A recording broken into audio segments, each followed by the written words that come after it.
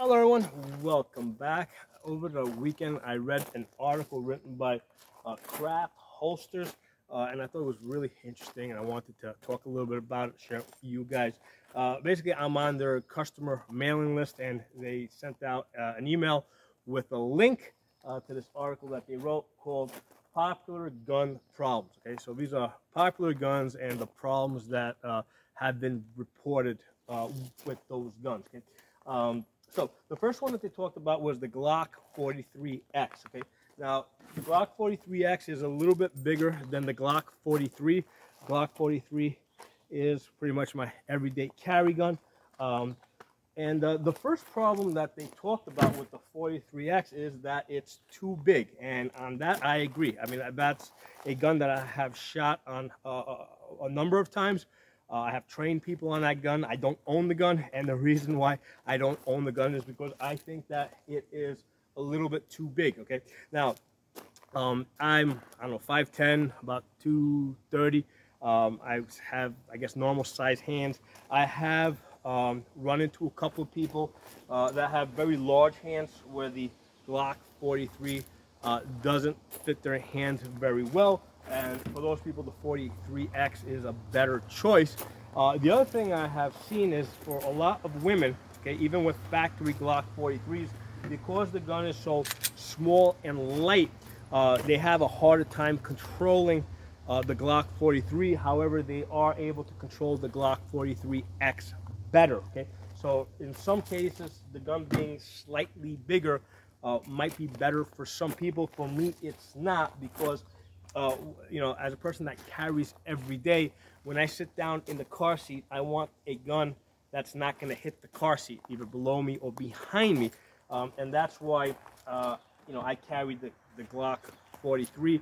Uh, I don't even carry it with the extended magazine, right? Because here I got an extended magazine.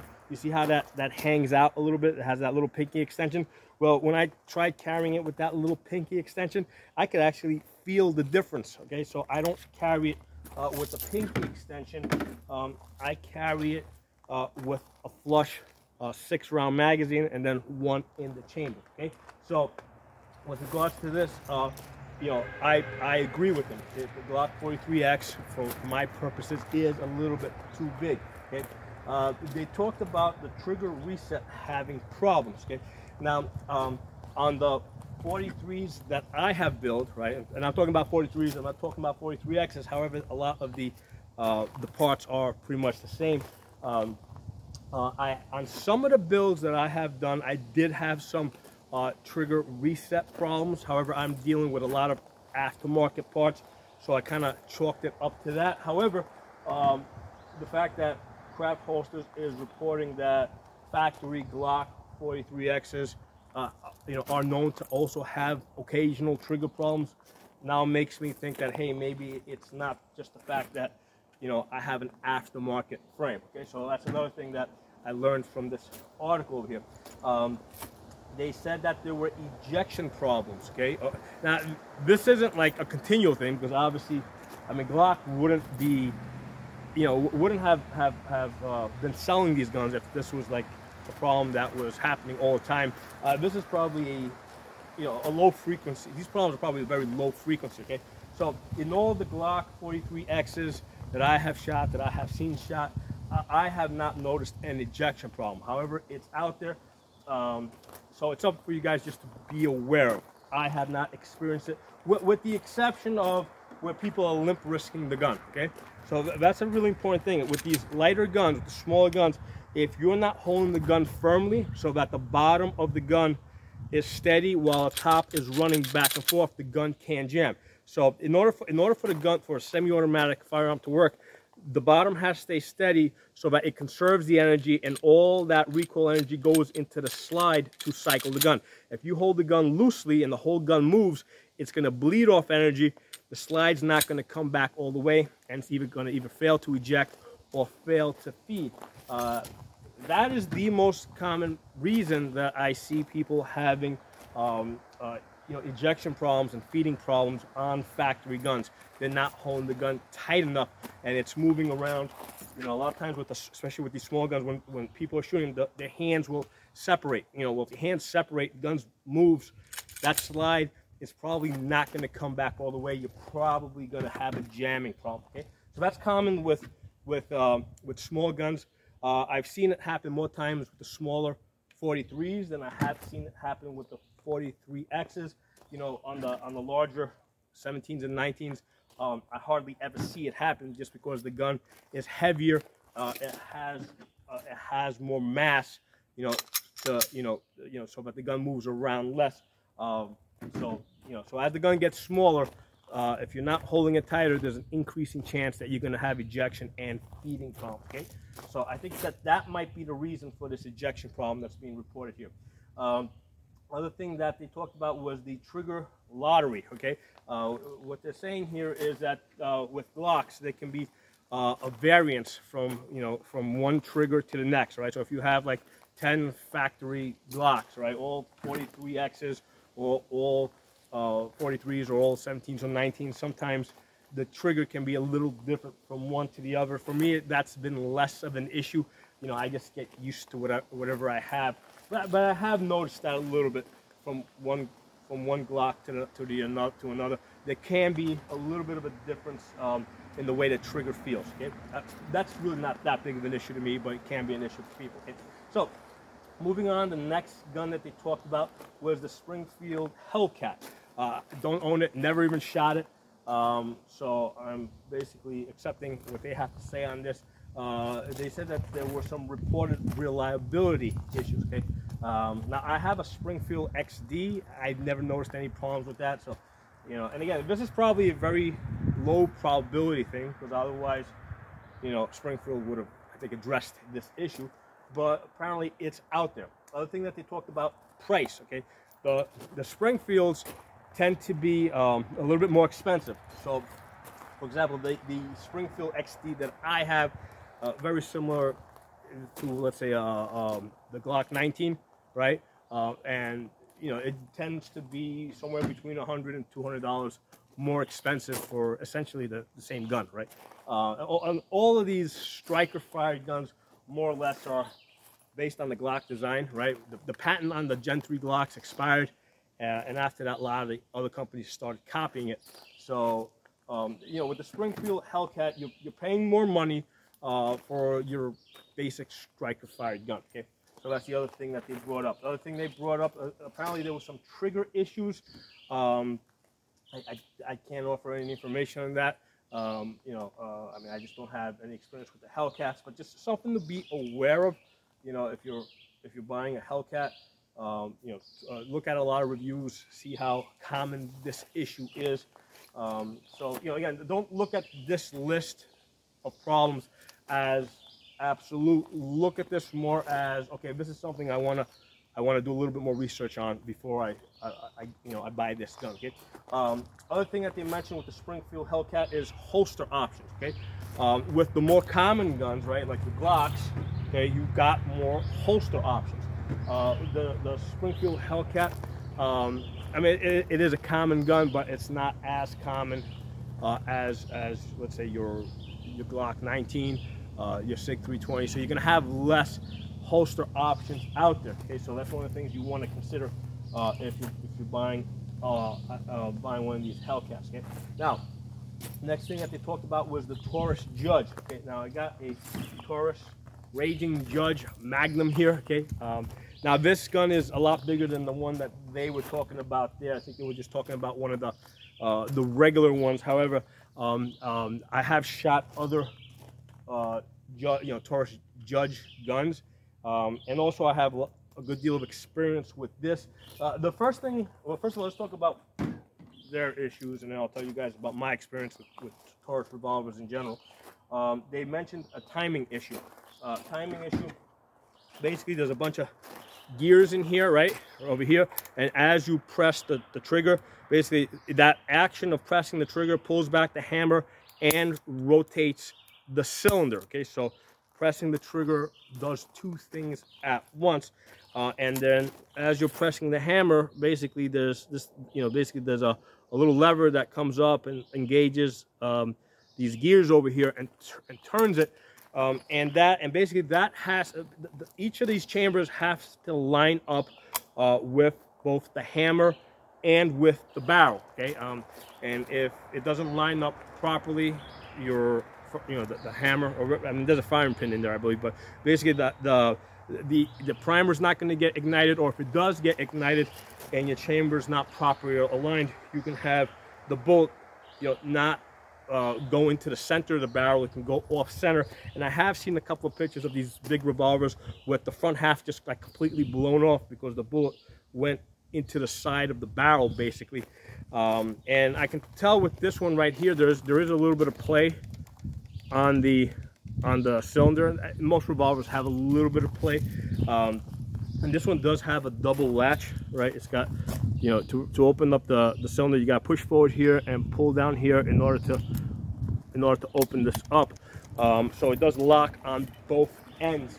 Uh, but that's that's a, a, potential issue, timing. Okay? Now, this timing issue, right, is a general problem with revolvers. A lot of people think that that you know revolvers never break. Uh, they're 100% reliable. Nothing could be further from the truth. Um, the people that say revolvers are, are 100% reliable have usually never shot more than 500 rounds uh, on the revolver, okay? There's a, there's a reason why the military got away from revolvers as fast as they possibly could, okay?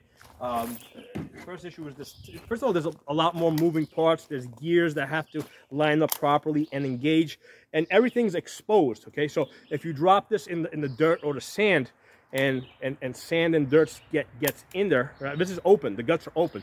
If you drop this, if you, if you cover this with sand, sand's gonna get in there. It's gonna prevent this from rotating properly. Um, and I've, I have seen that a couple of times. Whereas with, with a gun like this, okay, as long as the slide is closed, there's, there's really no way that anything can get in there, right? Only when the slide's open can stuff get in there, okay? Uh, one of the things I caution people about with these uh, aftermarket slides, you see how I have these really cool cuts here because it looks so great? Well, basically that's uh, a point of weakness in terms of, you know, dirt and sand can get in there.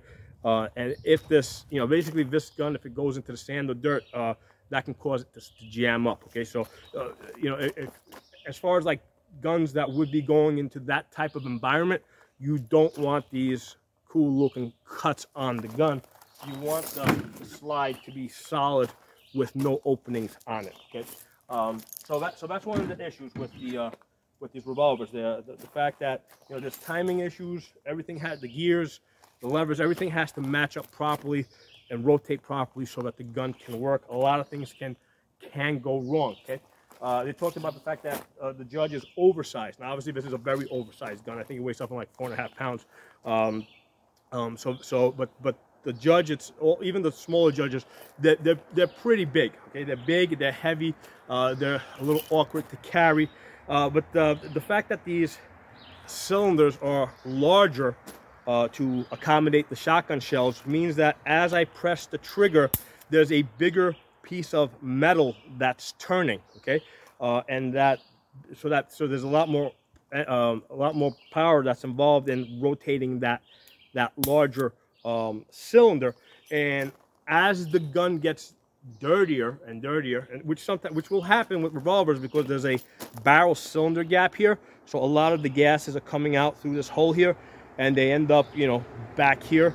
Um, and and these guns do get dirty, and uh, especially with the, I mean I don't see it so much with the small revolvers, but with these large ones, um, if I do a lot of shooting with them, I actually have to, you know, use these flutes here to manually manually rotate the the cylinder, right, as the gun gets really dirty, right? So sometimes I gotta help it along because it becomes, uh, in fact, sometimes I gotta use my thumb too. So use my, you know, rather than try and pull this, if the gun gets very dirty, I have to cock it and rotate it, okay? So that's that's one of the issues with these, with these big, uh, heavy revolvers with these gigantic cylinders. Uh, as the gun gets dirty, the rate at which the difficulty, you know, basically there's, a, there's, a, there's an increasing difficulty uh, with pulling the trigger, rotating, uh, and rotating the cylinder. Okay, so uh, so next thing, firing problem. Again, uh, everything has to be lined up correctly. Uh, the gun, the, the gun has to, the, uh, rather the cylinder has to properly rotate in order for you to be able to fire the gun. And again, if it gets dirty and you're not, oh, keep going the wrong way. If it gets dirty and you can't properly rotate the cylinder, um, you know, basically the gun's not going to work. Okay, so so uh, you can have firing problems with these big revolvers. Uh, holster problems. Obviously, it's extremely hard to find a holster for this gun. I, I have made a holster for this, right? It's not hard to make it, uh, but there's not too many options out there as far as holsters for a gun like this or similar uh, guns like this. Okay, I mean they are out there, right? But you know, it's, it's not like a Glock where you just go like Amazon and you've got like you know you know you just you know you you basically do a search on uh, holster um, you know um, Glock uh, Glock 17 or Glock 19 and you get like hundreds of options that pop up. That's not going to happen with with these big revolvers okay? Uh, now let me say something else with regards to Taurus revolvers. Um, with, with the exception of this one and that's only because I haven't shot more than 2,000 rounds with this with the exception of this one, every Taurus revolver that I have owned uh, has has gone back to Taurus for repair. Okay, a few of them uh, they they completely replaced the gun, right? Um, because they either couldn't you know they couldn't find the parts, um, or you know there was damage to the to the frame, right? Uh, so on a few of them, they they or, or basically was an older model that they no longer had parts for. But with the exception of this one, every Taurus revolver that I have owned um, has gone back for repair, and that includes 22s, right? Because with 22s, you know, I, I, a lot of times you'll do a lot more shooting with that, right? You buy 500 round bricks, so it's really easy to get up over, you know, two, over 2,000 rounds. Uh, and I, I, don't remember exact, I don't remember if it was 2,000 rounds or 4,000 rounds or whatever, 6,000 rounds. But every Taurus revolver, and I've had two 22s, I've had 38s, I've had 357s, they've all had to go back to Taurus for repair. Okay, so keep that in mind with, with Taurus guns. Okay, if, if you do a lot of shooting on these, and I don't do a lot of shooting with this one, um, but if you do a lot of shooting, they will break. Okay. Um, now, next, let's talk about the SIG 365 that was on their list. This one is particularly interesting to me because that's probably the only uh, gun that I'm I, am kind of like in the market for. I'm considering buying a, a SIG 365. Uh, has to has to be optic ready. Um, it's really the only gun I think I'm interested in buying at this point, just because I, I built so many of these things. I got like tons of tons of these guns. Um, but the thing that interests me about the SIG 365 is uh, the, the gun is the same size as this Glock 43, uh, but this one holds six plus one, seven rounds. That one holds 10 plus one, okay? So the way they did it is these Glock magazines, uh, they have an inner steel case and then they have a pl plastic outer shell. Well, what they did is they they got they got rid of the double body, right? And they just have a steel outer case, which created more space on the inside of the magazine, and that's how they were able to fit extra rounds in there. And I think that was an ingenious idea, uh, and that's the reason why I am considering. However, I am going to be testing out um, a new magazine that's coming out for the Glock 43. Uh, it's called the Z9 from Shield Arms. And that's supposed to, basically they're, kind of copying that same idea. So I'm going to be doing a review on that soon. Um, but that, as I was saying, of, of, all these guns here, that the SIG 365 is the one I am considering buying. If I see it at a good price at some point, I'll, I will get it. Uh, has to be optic ready. Do not buy any guns unless they're optic ready. Uh, any guns without that are not optic ready are as far as I'm concerned, are already antiques, um, and they will definitely be relegated to antiques or junk within the next 10 years. If you don't believe me, consider AR-15s, right? Pretty much every AR-15 that is sold today is optic ready. It has a Picatinny rail on it. About 10, 15 years ago, that had not been decided yet. So they were still selling ARs that had fixed carrying handles. Um, so where are all those ARs today, right? They're all in the back of the safe, not being, nobody ever shoots those anymore, okay? So they're either antique or junk, depending on your point of view. So that was, you know, 10, 15 years ago with the AR-15s. Uh, that's where these pistols are. Like this one over here, this has, this does not have a cut for an optic. So, um, you know, within 10 years, I think that this is going to go the same way as the AR-15. If, it, if it's not going to take an optic, uh, it's either antique or junk, depending on your point of view. Okay, so, uh, SIG 365, uh, first problem they mentioned was the sights, okay? the first SIG 365 that I shot had this Meprolight uh, aiming system on it, uh, which initially initially I thought was interesting. Uh, I, I, I did buy that sighting system separately to try out on my guns after some trial after a bunch of trials i decided i, I you know i did not like it don't recommend it. Uh, so don't get that. Uh, the, the the iron sights that come with it um, craft holsters in this article said that they did not like it. Um, as far as if i buy a sig 365 it's going to be optic ready. It's going to i'm buying it for the purpose of putting a Holosun 507k or the or the next model if that's the next uh, generation if that's available uh, so it's it's going to take an optic, so the sights are less of an issue for me. But just be aware of that if you're, you know, if you plan to shoot it just with iron sights. Um, ex extraction. They said uh, they said that the Sig 365 has it's been reported to have extraction problems. I suspect same thing as the as the G43X over here. Those extraction problems are most likely due to people not holding the gun firmly enough and when they shoot the gun, the gun moves around and it, the, the slide doesn't come back all the way to fully eject and then pick up the next round, okay?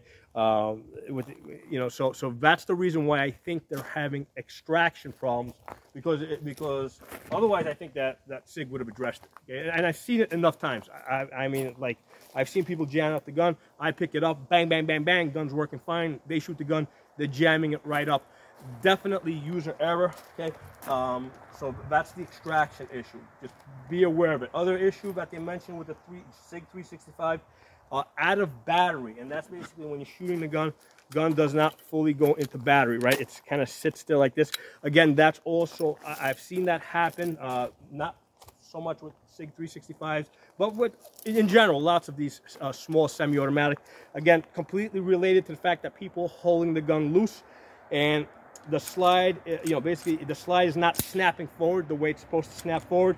Uh, they're bleeding off the energy. That usually the, the, the telltale indicators uh, is when there's people are shooting it, the, their hands are separating, right? So it'll be like bang, bang, bang. That's that's the first indicator that I'll see. The second indicator where maybe maybe they're not that bad, right? Let's say they're still holding on to the gun, um, but they're still having either feeding or out of battery problems it, what, what I will notice is that the cases are ejecting uh, erratically. So the you know when you're shooting, right? If I'm standing if I'm standing over here and I'm shooting, all my cases should be coming up, should be coming out in a rainbow pattern and landing pretty much in the same spot. I should be able to put a cup there and catch them all. Okay. So if they're shooting and the cases are going one here, one there, one there. That's an inconsistent grip, okay? Or, or, sometimes I'll see people shooting and the cases are all coming over on this side or hitting him in the face, all right? If, if, if the cases are hitting you in the face, it's because your, your, your, your, your, your grip is weak, gun is lifting up, opening up, and shooting it right in your face. So again, that is a user error problem. Grip's not strong enough, um, and that's why you're probably having extraction problems yet you're having these out of battery problems because that slide needs to slap forward, right? It needs to, it needs to go forward with force.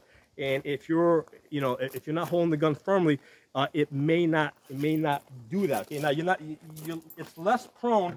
I, have seen, I've have seen it happen with the larger guns, but it's less uh, prone to happening. The reason is because the larger gun has more mass, so its weight picks up more the recoil. This gun moves around a lot less compared to the, the smaller lighter gun like this G43 or the SIG 365. Okay, so gripping, gripping the gun, holding it firm, especially a small gun, is everything. The gun's not going to work properly unless you're properly holding it.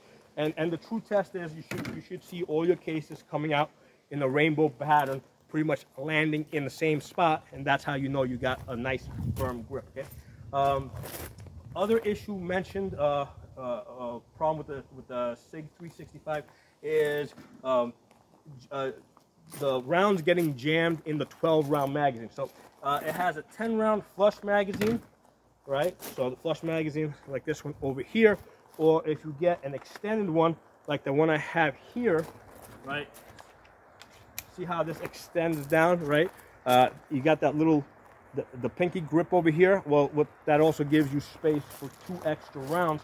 Uh, so so it's, it's, being reported that the 12 round magazines are causing problems. The reason why uh, I think that they're having uh, people having problems with the 12 round magazines is because first of all, when, when, you when you grip this, first of all, see how I grip it. You see how the magazine change moves. So by putting your finger on the magazine and using that to, uh, you know, to, to, to, you know, to hold it on the recoil, that's that magazine is going to move. So I suspect that's the reason why they're having problems with the 12 round magazines, but not with the uh, the, the 10 round flush magazines. Because when I hold this, see how my hands wrap around it, it's really not putting that much stress on the magazine. So that's the problem with the extended magazines. I, have I've seen this this issue with a lot of guns, even rifles, where sometimes people will try to hold the magazine on a rifle, uh, and that will cause jamming problems. Okay, so um, I mean, you're not going to have that on a problem on an AR or an AK, but some of the cheap other cheaper guns, if you're holding the magazine or if the magazine's touching the ground, uh, you you'll have feeding problems like that. So.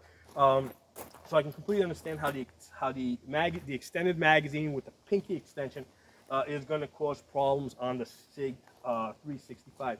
Uh, other problem that's being mentioned here is uh, what they call striker drag, uh, and uh, um, um, because Hol um, Holster is going to see this video because they're um they're one of my followers, um, and I, I would like them to expand more on that what I, I think they're talking about, uh, same issue I have had with the Glock 43s.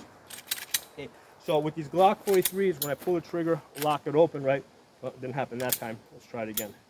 Pull trigger, lock it open. There you go. So sometimes you see how the uh, the firing pin hangs forward. Where are you? Oh, there it is. Uh, get the angle there. There it is. Now you can see it. Now you see how the the firing pin is hanging forward. All right, so sometimes that firing pin hangs forward, and what happens is it's hanging forward as the case comes up, it hits it on the way up, and that will cause a jam, um, or a lot of times you'll hit it, it'll push the, the, the pin back, and what it will do is it, it stresses the pin head out, and the pin head will break. All of the aftermarket firing pins um, that I that I got for these Glock 43s, I have broken all of them, okay, uh, because of because of that firing pin that hangs forward. The ones I have in here now are from uh, uh, Aim. They're billet strikers. Uh, they've been working pretty good. Uh, no jams, uh, no no firing pin heads breaking. Uh, but but the, the the problem with the with this Glock 43 the way it, differ, it differs from let's say the, the Glock 17 1926 is these guns, the, the, the firing pin head has an arrowhead design. So as the case comes up, it pushes the firing pin back um, if it's still hanging forward, okay? That's because it's an arrowhead design like that. Well, the firing pin head on the 43 and I and I'm pretty sure the 43X and I'm pretty sure the, the SIG 365 is more of a nipple design. I mean, there is a little bit of a slant underneath it, but nothing like the arrowhead design uh, uh, that the larger guns have, uh, you know, that you just mentioned. So what's happening is because it doesn't have that arrowhead design, it has more of a nipple design. The case comes up and it hits the bottom of the firing pin head. So I think that that is what they're talking about when they say um, uh, striker drag. Okay, the firing pin hangs forward, uh, the the case comes up, hits the bottom of it, um, and it's going to cause jams, and it's going to uh, break the firing pin head. Uh, and you're going to see this problem more with the aftermarket stuff versus the OEM stuff. However, I think that the design flaw is kind of there. It should have been an arrowhead design. So if you do this enough, enough times, if you don't have a strong enough grip uh, with certain type of ammunition, whatever, lots of different variables, I think that in some cases this problem is going to manifest itself where that firing pin is is hanging forward uh, and as the case comes up hits the bottom of it and either either, either jams up trying to feed or uh, it snaps the uh, you know you know uh, you know after enough times hitting it it eventually breaks the firing pin head off I've done videos where I, where I actually show um, how that firing pin head is actually broken okay so um, I want to thank Craft Holsters for doing this article. I think it was really good. In, in some cases, it kind of confirmed some things that, that I had been experiencing. All right. Uh, in other cases, it it, uh, it uh, uh brought you know it, it, brought attention to some things that I didn't know about. You know, like with the Hellcat, because I just I don't know. I don't own that gun. Never shot that gun. Uh, and in some cases, like the SIG 365, where I'm interested in buying this gun, you know, I, I know now there's a couple of things that I want to uh, look out for. Particularly, I, you know, I did. I was not aware that they were having striker drag uh, uh, issues, and if uh, if, if um, I'm sure I'm, Craft Holsters is going to see this video because I'm, I'm going to send them a link. Um, uh, when they see this, I would like them in the comment section to expand a little bit more on the on the striker drag, uh, striker drag and their experience. Uh, so um, now uh, let me just talk real quick about craft holsters. Uh, they don't pay me or anything. Uh, I do have a number of their products. I've done reviews on their stuff in the past. This is my favorite holster from Craft Holsters. It is this is my nicest holster. Okay, it is a shoulder holster. I have the um, uh, what is this? Sig Sig 2022 uh, over here. It's got two extra magazines over here. really nice holster. The way I use this holster is, you know, because here's the thing. I still have my gun here, so for a situation like let's say you got riots in town and for whatever reason you need to go out I mean you're not going into the riot area but you need to go out and and, and get some supplies or whatever uh, so you got to go buy some a baby formula right uh, so you're not going into the right area you're going one town over and what happens is okay you don't want to you you would like to take your AR-15 right along with you because that's the best gun but you can't because if you go into the store with an AR on your back the guy behind the counter might get freaked out and run out. So since I can't go in with an AR uh, what's the next best thing? Well I don't want to go in with just this little thing over here right right? So what I can do is I can strap this on right? So now I got a full-size gun. That holds 15 rounds here two extra magazines, 15 rounds each. All right. Um, and, and now, you know, in that type of a situation, this is now being, you know, normally my AR is my primary gun and this is the backup gun. Okay. And this is the everyday carry gun.